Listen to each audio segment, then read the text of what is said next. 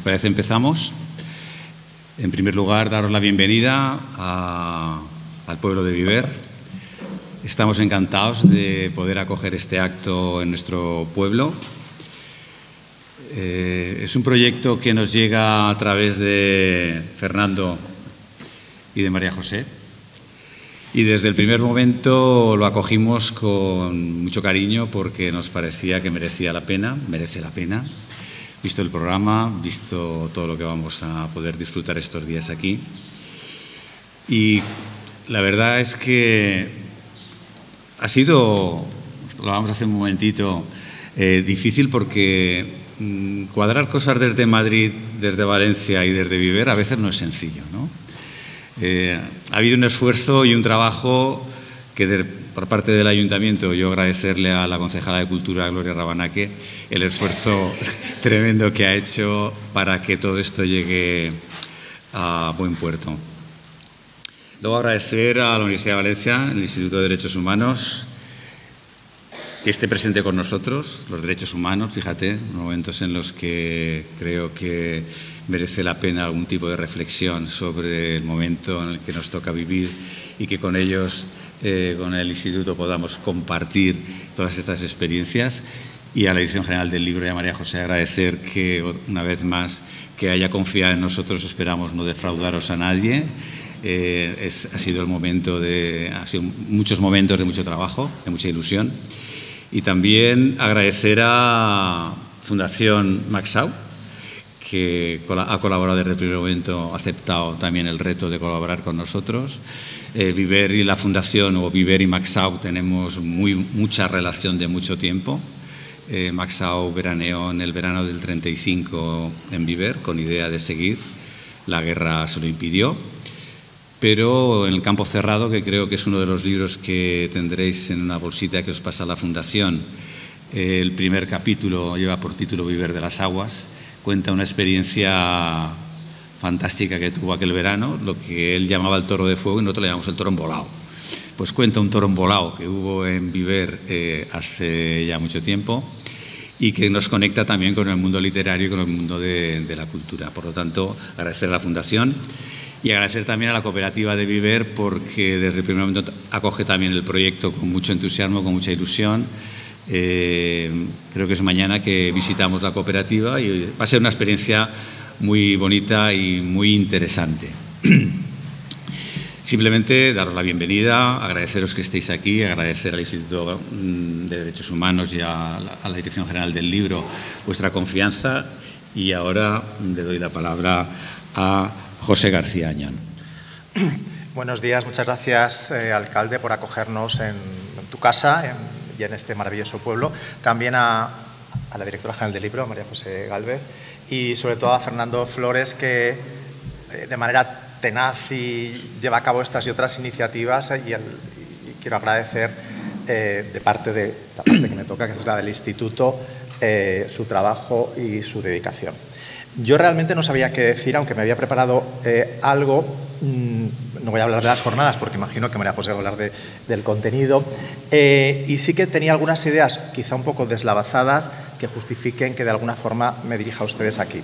Decía hace ya casi más de 20 años en una charla que luego yo he encontrado en un artículo de Justo Serna, eh, Eduardo Mendoza, a unos alumnos, que leer es como comer y si no comes te mueres, pero si no lees te quedas tonto y de manera un poco hiperbólica él eh, ponía como ejemplo el trastorno del, positivista Auguste Comte, quien para no contaminarse y para mantener una posición neutral frente a la realidad, decidía realizar un experimento que él lo llamaba higiene mental. Y entonces esto implicaba que él solo leía textos que fuesen suyos, es decir, no leía nada de otros autores, lo que sin duda le llevaría a esa indigencia intelectual y al loco delirio que padecía, porque él realmente tenía una psicosis maníaco-depresiva. Hace pocos días eh, Rosa Montero nos decía alguna cosa parecida en un artículo del país. Leer, dice, es como hacer pesas dentro del cráneo. Si no quieres que se te caigan las nalgas, machácate las carnes en un gimnasio. Si no quieres que se te desmayen y despanzurren las neuronas, lee todos los días, maldita sea. Mm,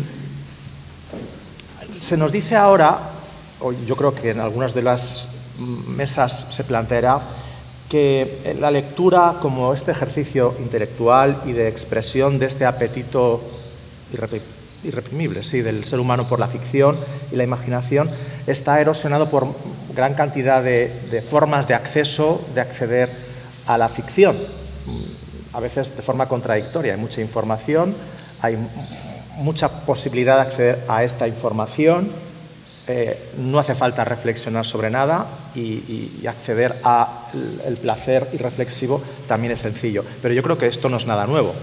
También eh, eh, había encontrado un, un, texto de Félix de Azúa de hace casi 20 años en el que decía algo así. En la actualidad vivimos un cambio profundo y creo que la lectura como ejercicio intelectual supremo está siendo sustituida por otras prácticas y quizá esté regresando a su lugar clásico, unos pocos hogares, conventos como este, gabinetes de humanistas. Como en el pasado, el resto de la ciudadanía de Fidel mirará y oirá historias, novedades, instrucciones, leyendas, conocimientos, pero ya no leerá por sí misma.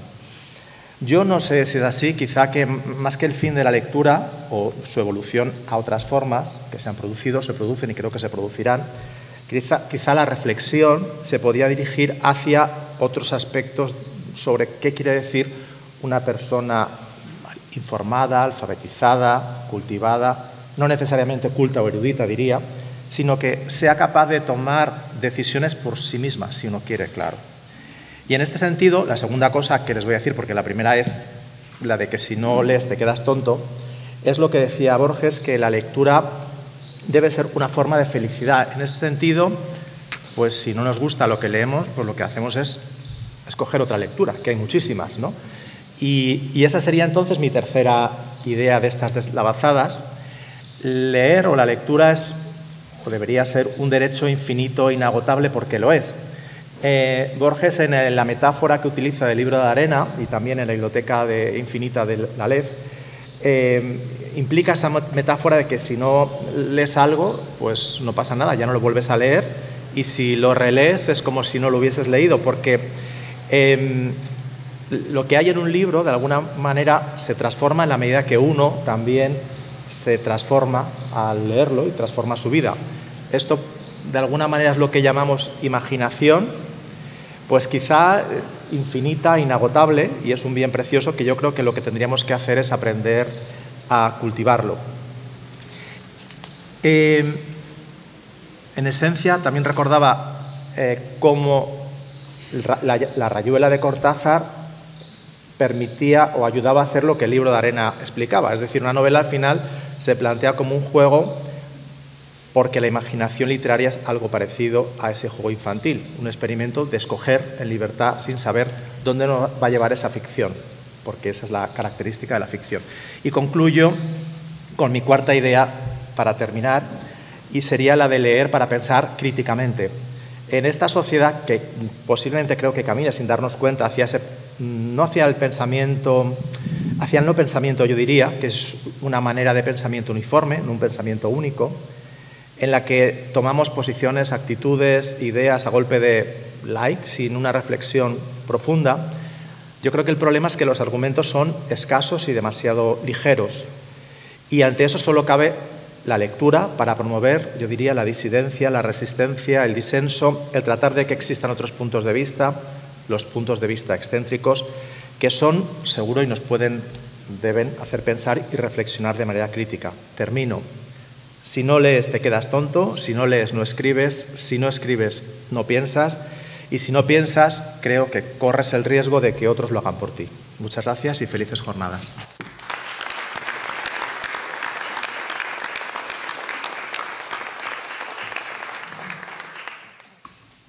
Tomo la palabra. Bueno, pues eh, estoy muy feliz de, estar hoy aquí en, Viver, ah, inaugurando estas, jornadas y que estéis todas y todos aquí con nosotros. Muchísimas gracias, que sé que algunos habéis atravesado eh, media España para venir a Asun. Muchísimas gracias tanto a los ponentes, a las ponentes, eh, por el compromiso con la lectura, que entiendo que es lo que os ha traído aquí, como a los asistentes. En primer lugar, un agradecimiento no cortés, sino sincero al Ayuntamiento de Viver eh, necesitamos en la lectura siempre estrategias, a, yo diría que a largo plazo y alianzas, pero alianzas eh, coherentes, alianzas duraderas, alianzas de verdad.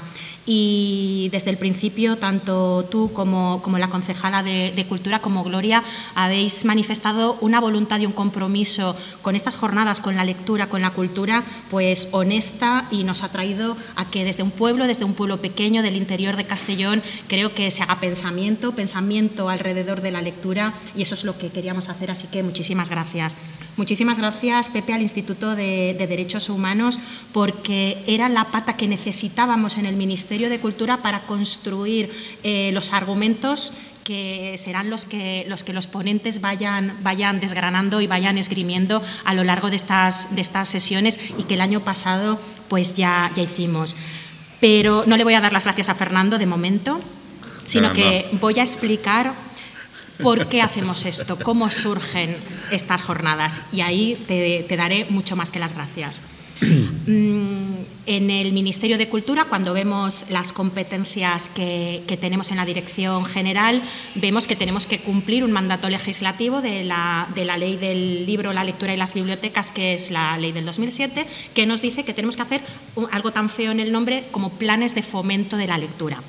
Nos pusimos manos a la obra y empezamos con, bueno, hicimos la mesa, la mesa del libro y grupos de trabajo de fomento de la lectura desde las universidades, desde el sector, desde el ecosistema, que nos ayudaron a, construir ese plan. Un plan con una serie de retos, con una serie de, mm, programas y con una serie de acciones concretas. Cuando lo terminamos, después de mucho esfuerzo y 40 millones de euros, yo pensé, algo nos falta. ¿Qué nos falta? Nos falta la narrativa, la teníamos porque afortunadamente como venimos del ámbito del libro tenemos a los mejores escritores y escritoras que nos ayudan también a construir esa, narrativa, pero nos faltaba un fundamento jurídico. Y yo que no me puedo desaprender de, de mi formación, dije, está muy bien todo lo que hemos construido, pero necesitamos un punto de apoyo sólido para ahora y con una perdurabilidad propia de los derechos. Y entonces llamé a Fernando y le dije, Fernando, ah, necesito que me ayudes. Y todos los que conocéis a Fernando sabéis que no solo te ayuda, sino que se pone contigo a construir. Así que con Fernando y con Ángeles Gregori, que está detrás, nos pusimos los tres a pensar que necesitábamos argumentos, argumentos para que pudiéramos hablar de que tengo derecho a leer, pero no desde un punto de vista ético, filosófico, como una expresión, sino tengo derecho a leer y eso tiene unos sujetos, un objeto, un contenido, una exigibilidad a los poderes públicos y unas consecuencias. Y queríamos hacerlo con miradas distintas. Queríamos hacerlo con, con la mirada del ecosistema del libro, con la mirada de quien escribe, con la mirada de quien es librera, con la mirada de quien es bibliotecaria. Queríamos hacerlo con con, esa mirada, por supuesto, pero también con, el apoyo de los juristas desde la filosofía del derecho, desde el derecho constitucional, para tomar toda esa narrativa y transformarla y ordenarla y sistematizarla. Y yo todavía recuerdo cuando Fernando dijo, es que vamos a conseguir que la lectura se apruebe como el agua, como un derecho humano. Y, dijimos, pues vamos a por ello.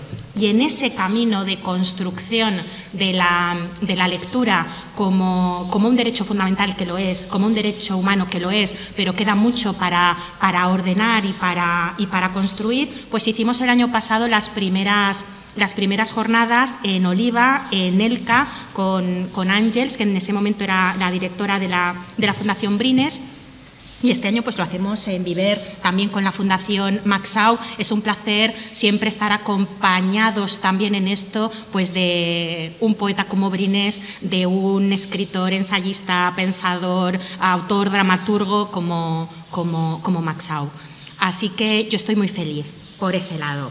Por otro lado, ¿Cuál es el punto de partida? ¿Qué es lo que queremos conseguir? El año pasado me quedé, y creo que tú lo has dicho, Pepe, con, en la ponencia inaugural estuvo la, la escritora Marta Sanz y dijo algo, o, Belengo Peggy, que está por aquí, no sé cuál de las dos fue, y dijo, es que muchas veces hablamos de que leer es bueno, y hacemos ese discurso, leer es bueno, o leer nos hace mejores. Es un poco ñoño quizás eh, decir leer es bueno, o se lo podemos decir pues, a, alguien que está empezando a leer, pero en, en este, con este auditorio tenemos que ir un poco más allá.